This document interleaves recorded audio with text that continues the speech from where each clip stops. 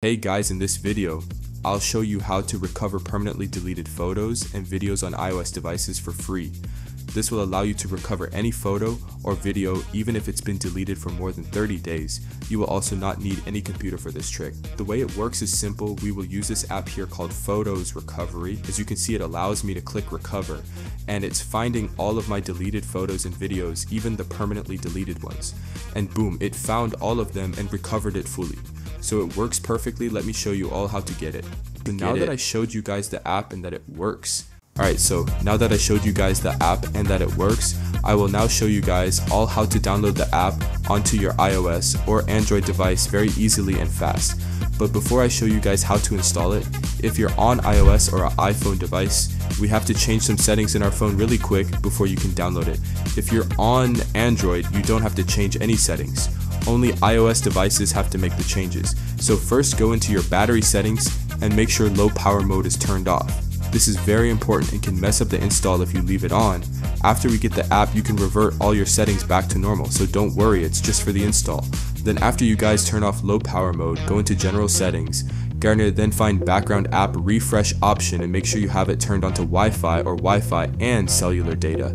It cannot be off. If it's off, it can also mess up the install. Okay, anyways guys, we are all good to go and now ready to get our app installed. So what you guys have to do is very simple. On your iOS or Android device, go to this website called pluginsurf.com. This site has a bunch of tweaked apps and games that we can download for free without needing a jailbreak or anything complicated. So once you're on this site, go to the search bar on the site and type in Photos Recovery. Now tap the app and then click the button that says start installation.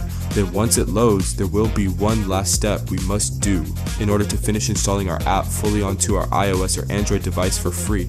So you will see something like this pop up. So before you can use the full app, you will have to complete two plugins from the list. Basically for the app to fully run and load, it needs this and it is required for the app to work, but it's simple.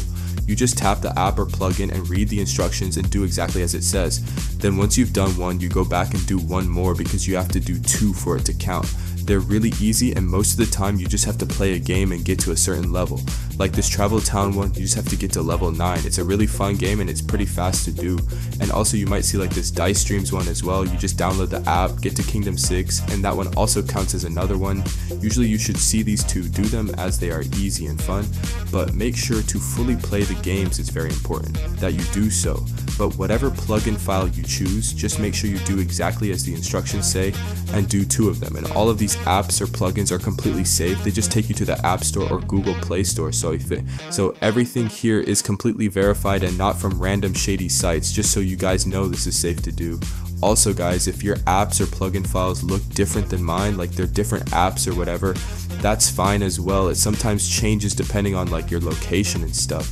But once you complete the instructions of two of them, then it will pop up that the app is now installing exactly like this.